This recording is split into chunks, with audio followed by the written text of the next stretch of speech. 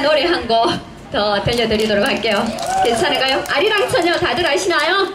네, 네 함께 하도록 하겠습니다.